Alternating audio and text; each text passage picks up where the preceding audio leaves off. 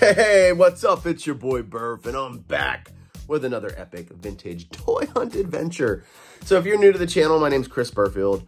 My friends call me Burf, and I hunt for vintage toys in thrift stores. So if you like vintage toys and you like thrift stores, chances are you're gonna like my channel, so I'd invite you to hit that subscribe button. Feeling a little under the weather today, guys. Got a little respiratory stuff going on, so uh, don't mind the wheezing and the uh, sexy voice. But uh, yeah, something's going on. But I'm healing up. That's the important thing. So man, guys, I gotta tell you, today I found, well, not today. This video was actually filmed weeks ago. I'm filming this segment today. But I found one of the coolest board games, one of the coolest vintage board games I've ever seen. I've never even known this, I never even knew this thing existed. So I'm excited to show that to you today. I'm gonna show it to you in the store and then we're gonna do a little show and tell with it towards the end of the video. So I'm excited. I hope you're excited. If you are, hit that like button and then let's roll out. My name is Burf and this is my turf. I'm straight out of the thrift store. Okie dokie. Let's rock and roll. What is this thing? I don't know what that is. I was looking to see if there was like, it says Westminster Inc. Maybe some sort of like horse racing game? Oh, a dog. It's probably like a dog racing game. Oh, yeah. That's cool. Too bad it didn't have the pieces. Check out this dude. Who is that? Maybe some sort of Marvel figure? Anything on this side? Oh, look at this thing. It's like some sort of peacock or something like that.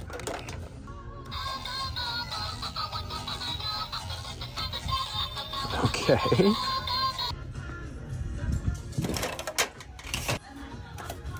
Got a Luke's lightsaber. Oh, this Darth Vader helmet's still here from the other day. Well, since there's nothing on the shelves, let's check Baggy Land. Oh, looks like we got a Papa Smurf in there. Some dinos. This Sectaurs? Mm, no, I don't think so. Just a just a big old spider.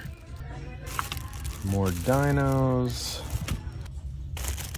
More dinos. Oh, these horse, this horse, I actually had. Uh, I think he pulls a like a stagecoach. I think I had something like that when I was a kid. Speaking of stagecoaches, here's one here, a Wells Fargo. Looks like a Christmas ornament. Oh, there's a like a TMNT matchbox or something.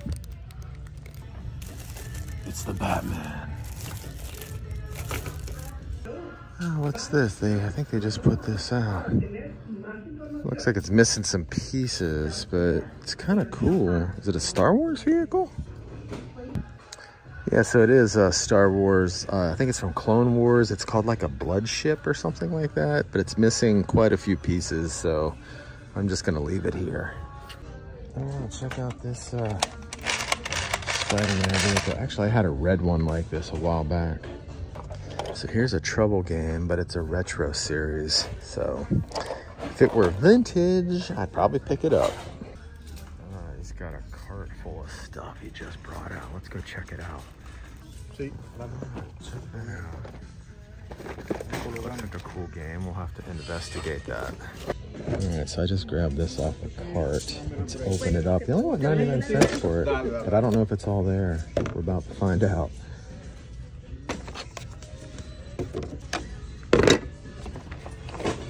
Whoops.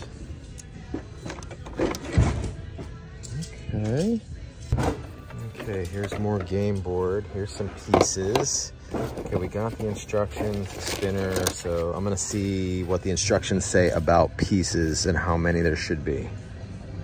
All right, gang, from what I can see, everything is here. So I'm gonna go ahead and get this. It's like only a dollar. How cool is that? And I just saw this game of life, which I've never played this game actually. Oh, that looks cool. See, I told you that board game looks awesome. It is so cool. Like, it actually, like, you know, stands up and stuff like that. So anyway, we're going to do some show and tell with it at the end of the video. But in the meantime, let's go hit up a goodie wheel and see what kind of goodies they got. All right, my friends, we are at the goodie wheel, baby. What you got for me today, goodie wheel? What you got for me today? Let's see what we can find. I see this big guy is still here. They want $22 for him, which I think is a little overpriced. Okay, anything down here in the aisles? Maybe we'll get lucky. Find some vintage toys.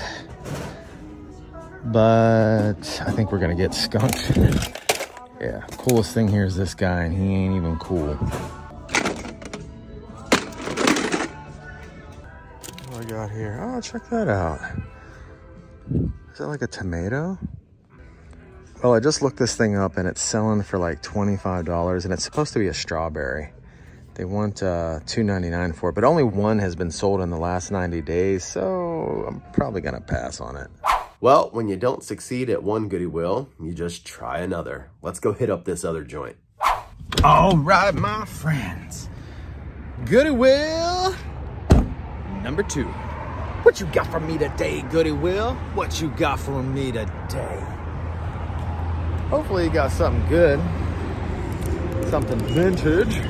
Something to get me all jazzed up. I'm ready to be on that jazz, man. All right, let's see what they got. Okay, guys. Let's see what they got.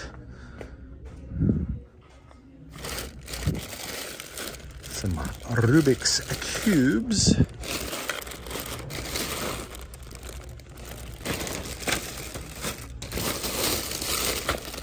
What's in here? Uh, just a bunch of smalls Disney stuff. Oh man, that thing is trashed.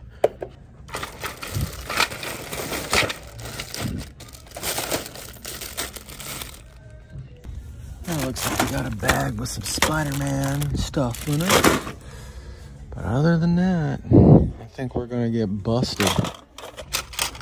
We got like a TMNT ATV. Busted again.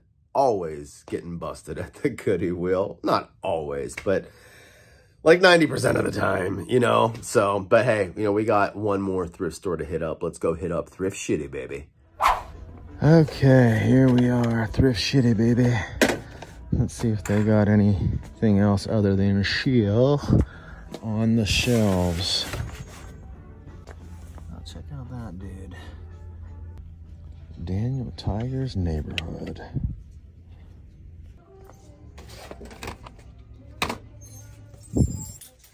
Well, I'm just seeing a bunch of junk. All right, kids, you know what time it is. It's time to check the glass case.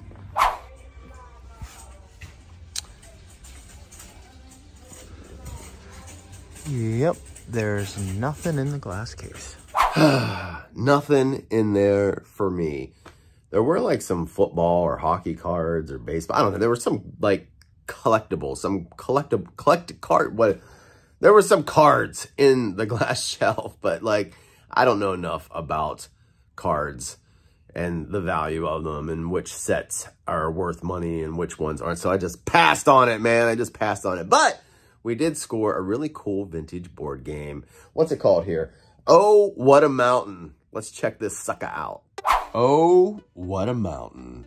Check this thing out. It is so colorful. And it's got some like really awesome artwork on it. I really love the design of it. We got this little spinner right here, you know, to take our turns with. We got this little stack of cards. Now, I have no idea how to actually play this game. I'll have to read the directions. But doesn't it make for a really cool display piece? Like these little parts, like this thing right here and that flag, like they actually all move.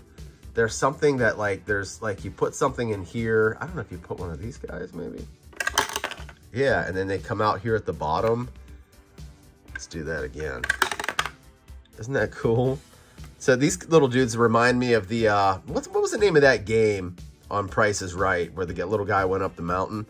I can't remember what it was called, but that's what he kind of reminds me of. But you got four game pieces, and I just think it's really a truly magnificent piece. I've never seen a game like this before. I didn't even know this thing existed. It's from 1980.